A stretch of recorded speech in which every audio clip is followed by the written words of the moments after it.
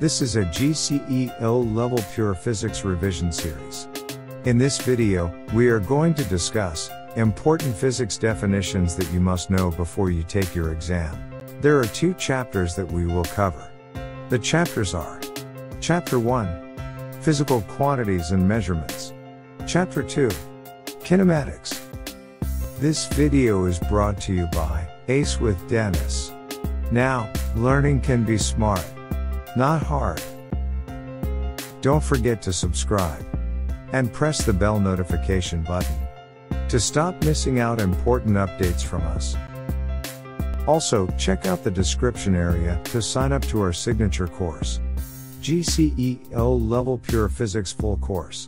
At unbelievable price. It's one time payment. You can study anytime you like, anywhere at your convenience. You can also easily monitor and track your study with Udemy's system. There is no recurring monthly tuition fees. No expensive intensive revision workshops. You don't have to rush to any tuition centers. You don't have to worry on missing any lessons. Sign up our signature online course at description area now. Without further ado, let's get started now. Chapter 1 Physical Quantities and Measurements. Physical quantities. Quantities that can be measured. Base quantities. Quantities that cannot be derived from other quantities. They can only be measured. Derived quantities.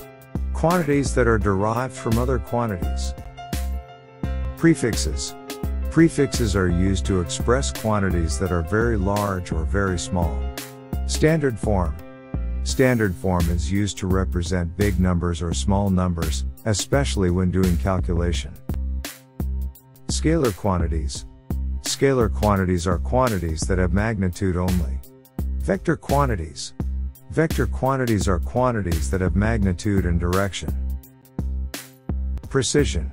The smallest value that an instrument can measure. Accuracy. The extent of how close a reading of a measurement is to the actual value. Reliability. The extent to which the outcomes are consistent when measurement is repeated more than once. Systematic error. Systematic error is consistent, repeatable error associated with faulty equipment or a flawed experiment design. Random error. Random error comes from unpredictable changes during experiment. They cannot be replicated by repeating the experiment again. Zero error.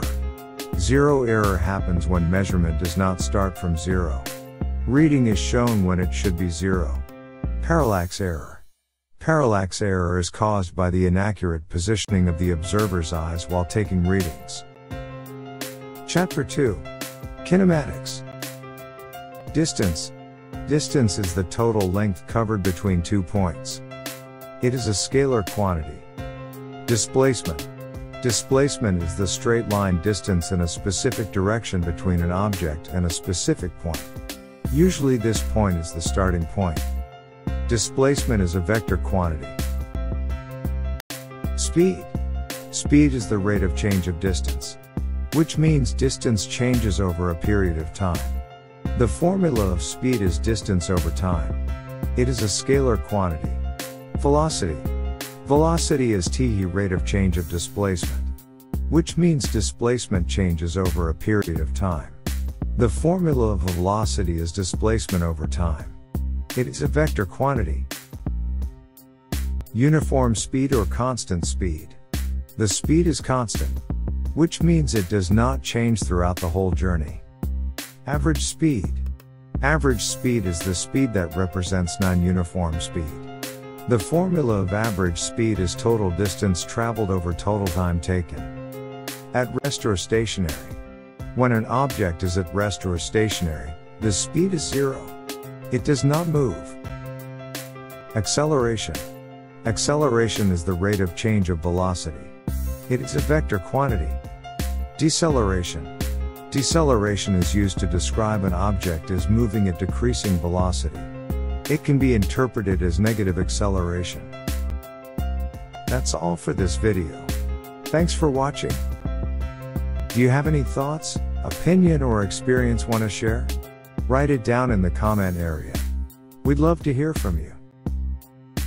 Also, do you like this video? Don't forget to like and share it to your friends. Until then, see you in the next video. Have a great day ahead.